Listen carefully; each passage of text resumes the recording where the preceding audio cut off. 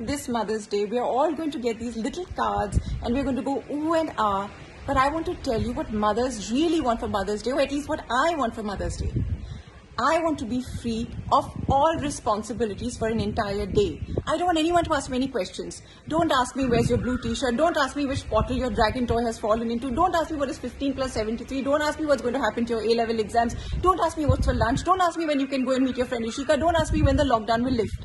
In fact, for the rest of the day, I would prefer it if you don't even call me mummy and call me auntie so that I actually feel free of all responsibilities. Some of you watching this may think I'm a terrible mom, and sometimes I also wonder the same thing, especially when my little one, when she doesn't get away, looks at me and says, Bad mama. But deep down, I don't think I'm a bad mom. I think I'm a badass mom, though I have a perfectly fine posterior.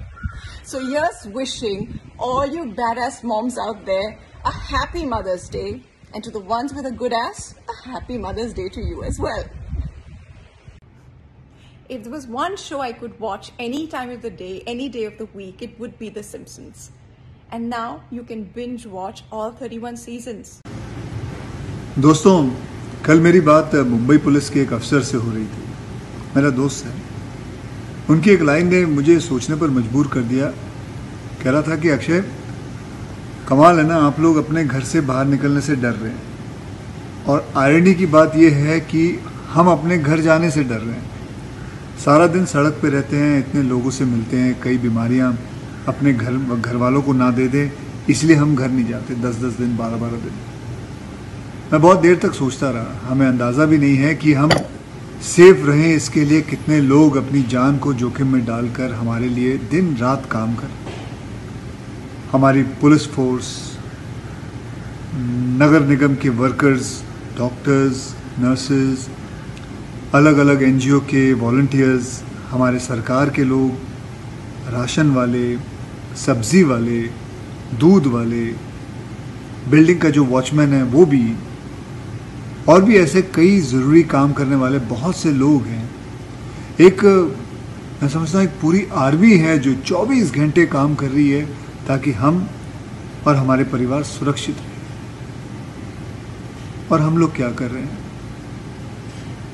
घर बैठकर फ़िल्में देख रहे हैं, web series देख रहे हैं, बस।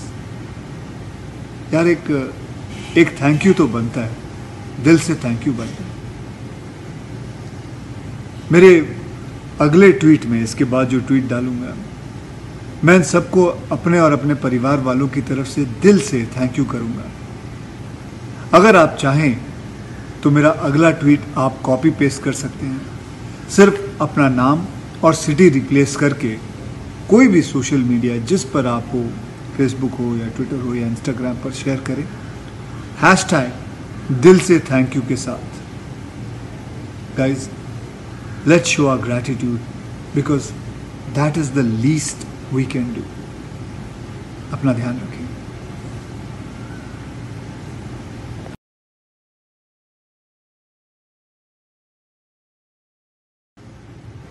दोस्तों, कल मेरी बात मुंबई पुलिस के एक अफसर से हो रही थी।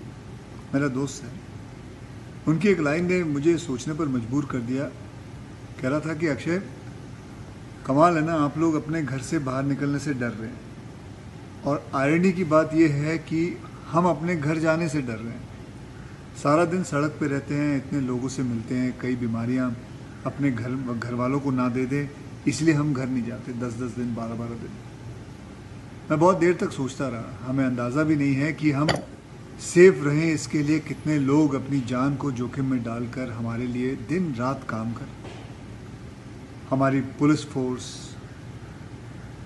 नगर निगम के वर्कर्स डॉक्टर्स नर्सेज अलग अलग एनजीओ के वॉल्टियर्स हमारे सरकार के लोग, राशन वाले, सब्ज़ी वाले, दूध वाले बिल्डिंग का जो वॉचमैन है वो भी, और भी ऐसे कई ज़रूरी काम करने वाले बहुत से लोग हैं।